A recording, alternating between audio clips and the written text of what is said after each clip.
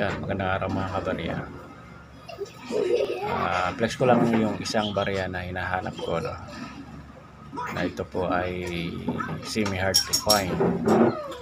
Na new generation 10 peso currency coin. May taong 2017 na yan. Kita nyo. 2017.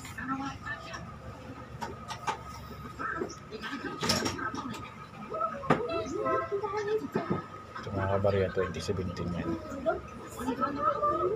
Patunay na talagang mayroong ganitong barya.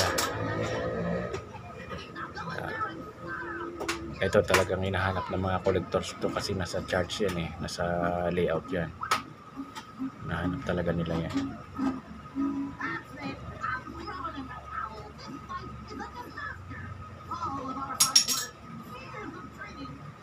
Twenty seventeen.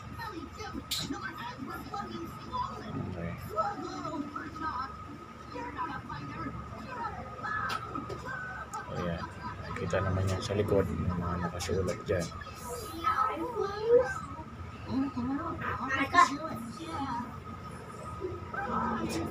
Okay.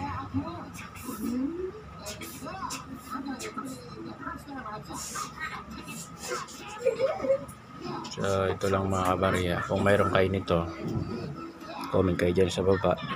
Kaya PM nyo ako. Para mabili natin yung mga barya nyo.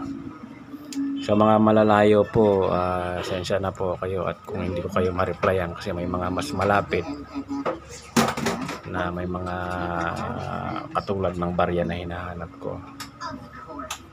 So yun, yun ang dahilan kung bakit eh, minsan hindi ako nakakapag-reply sa inyo kasi ayaw ko naman na paasahin pa kayo kasi nga malayo yung area natin eh. eh dito ako Santa Cruz, Laguna. Yan, yung iba parting Visayas, Mindanao. So, mahirapan tayo doon mga kabarya. Yan. So, yun lang po. At ah, sana mayroon kayo nito. At ah, dumami pa yung ating mga koleksyon. Okay.